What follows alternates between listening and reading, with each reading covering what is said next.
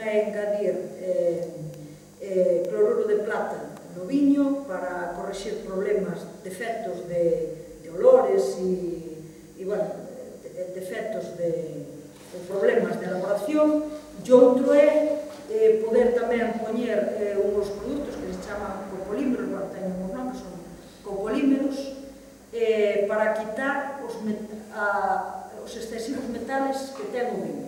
Entón, claro, eso, esas prácticas non ten sentido ningún porque haberá que incidir en como se producen as uvas e haberá que incidir en como se elabora o viño para resolver esos problemas, pero non, claro, poñense novos produtos químicos, co cal é máis dependencia, pero ao mesmo tempo é tamén deixar ir eh, autorizando prácticas que xa existen noutros sitios cos que se quere chegar a.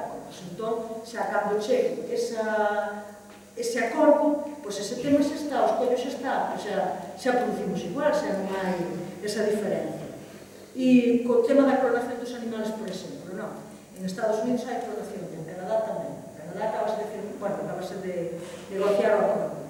E, e aquí, eh, cada pouco, na Comisión de Agricultura aparece o tema da clonación, pero incluso eh, a xente que se dedica a reproducción de, de touros está dicindo que é unha nación que non interesa, que é moi cara e que é moito máis barato eh, pois criar os, os touros eh, os, os touros que os están creando agora. Pero non, insiste, insiste que cada pouco veñen. De momento no Parlamento non se aprobou pero cada pouco veñen.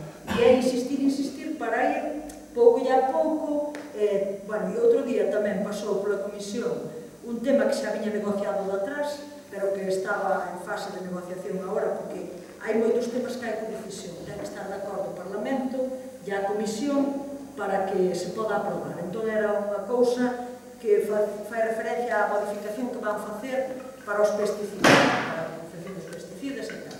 Eu, eu o Consello explicarnos o que, bueno, as súas enmendas e dixemos claramente que era, bueno, pois para facer unha regulación eh, máis similar a Estados Unidos, moi parecida a Estados Unidos.